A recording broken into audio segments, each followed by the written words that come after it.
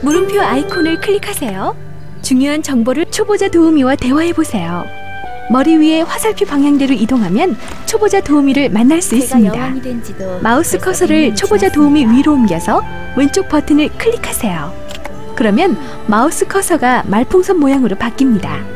그 상태에서 다시 마우스 왼쪽 버튼을 클릭하면 대화가 시작됩니다. 사이아님의 목소리가 잘 들리지 않아서 걱정입니다.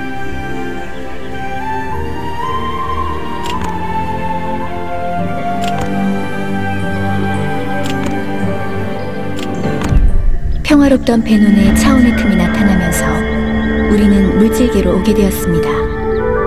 돌아가기 위해 대신관이 사이아님과 대화를 시도했지만 아무 말도 들을 수 없었습니다.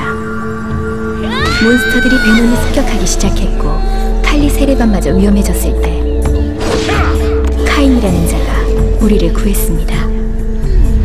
마을을 수습한 후 대마법사 베니르는 사절단과 함께 대륙으로 향했습니다.